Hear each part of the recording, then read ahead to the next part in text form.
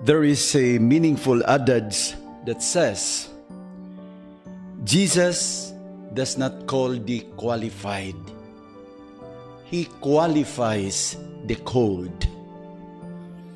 Nga sa ato pa mga igsuon, si Jesus dili mutawag sa mga angayan. Hinuon iyang himuong angayan ang iyang mga gitawag. Tinuod ni dili. Tinuod kaayo. Kung dili mo mutuo, tanawa lang ninyo si Pader Ado. Kadaghan nga matarong didto sa Lapas Cortes nga makaingon kag angayan gini mapari. Pero si Ado pa jud gipili sa Ginoo. Aw, tanawa lang pug ko ninyo. Pagkadaghang buutang pari, pagkadaghang mga banggiitan, bright nga mga pari, ug nganong kini po yung insect may gihimong obispo. Dili ta masayod unsa ang hunahuna sa Ginoo. Ug tingani tanawon ninyo si seminarian Jason. Birthday ba niya karon? Daghan man tinganing mas gwapo pa, mas buutan pa aning bataa didto sa ilang lungsod pero siya man ang gitawag sa Ginoo.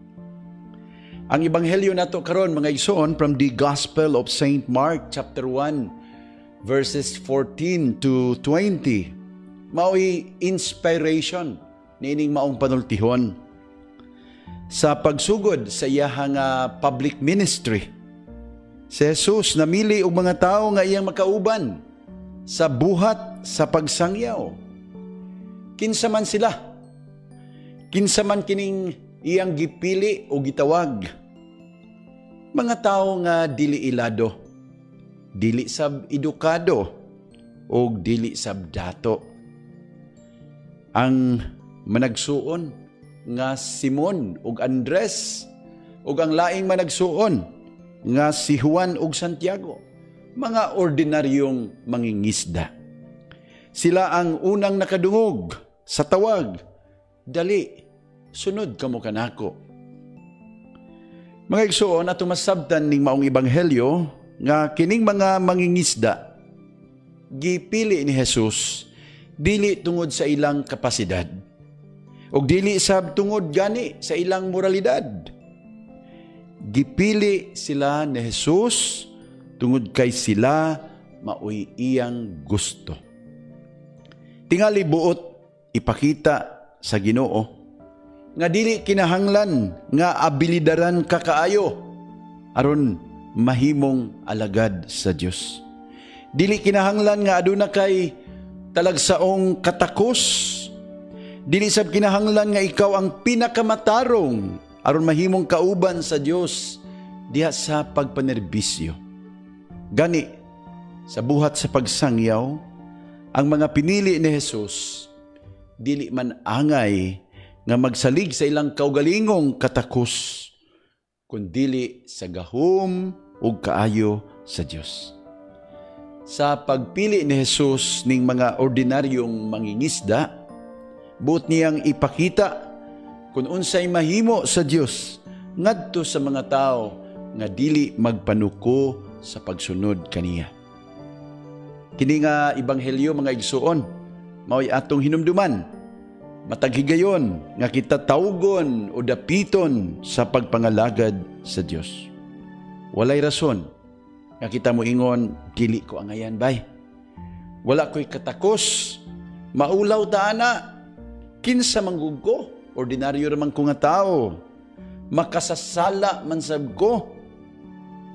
Mga igsoon, kung si Jesus muingon kanimo, dali sunod ka nako. Hinaot, dili nimo siya balibaran. Kano sa man mahitabo, kining pagdapit ni Jesus kanato, Diya sa Ebanghelyo, nahitabo ang pagtawag sa ordinaryo nga adlaw o kahimtang.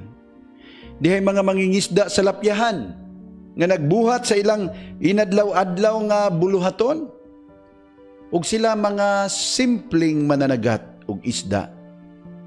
Gihimo ni Jesus nga mananagat og mga tao. Sa samang pagi, kita karon gitahasan ni Jesus nga managat og mga tao. Meaning, mukabig, mudala og mga tao ngadto kaniya diha sa atong inadlaw-adlaw nga kahimtang sa kinabuhi. Karong simanaha mga igsuon, magsugod ta aning gitawag sa simbahan og ordinary time. Ordinaryong panahon diha sa liturhikanhong kalendaryo. Para sa kadaghanan, ang pulong nga ordinaryo, sabton nga dili kayo importante, dili angay hatagan og dakong bili.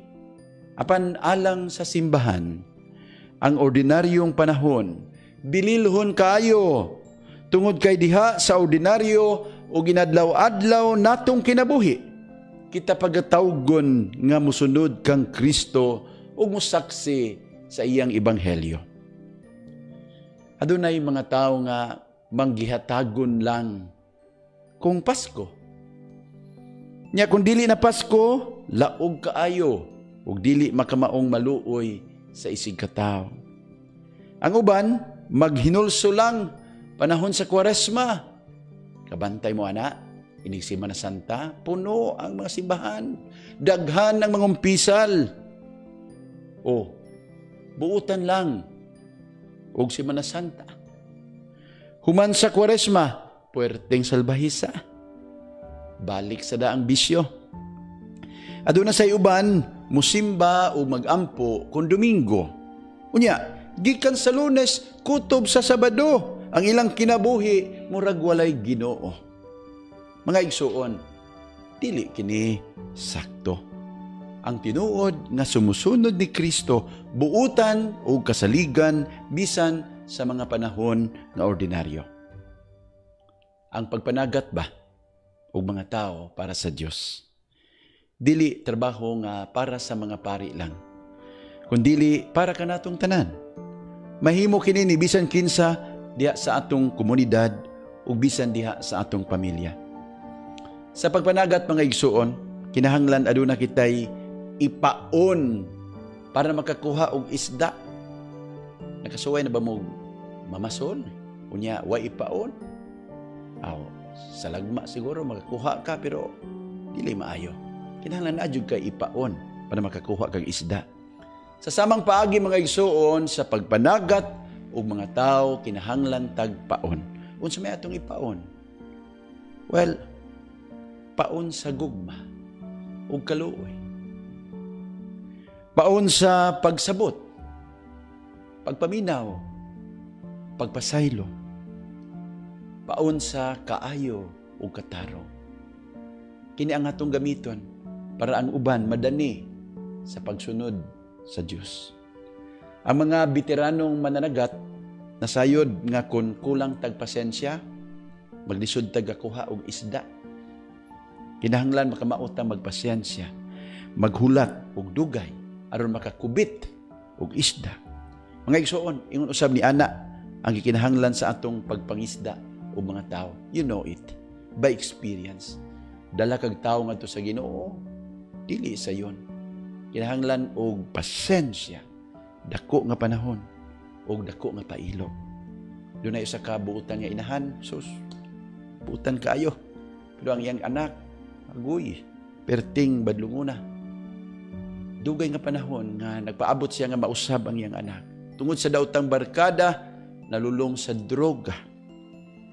Sus, ilang giparihab, sulod, gawas, sulod, sa rehabilitation center, gawas, mubalik gihapon sa bisyo. Dili sa yon, paabot dugay nga panahon. Pero mga isuon, wadam ha, nausab ra gyud. Og dili ma-explain nila nganong nausab. Pero sa ilang kinahiladman nasayod sila, lihok kini sa Dios. What we cannot do, God can do. Mga igsuon, ang ato ra yung kinahanglan is to believe, to trust, and to learn how to wait God's time. And we always remember, Jesus does not call the qualified. He qualifies the called.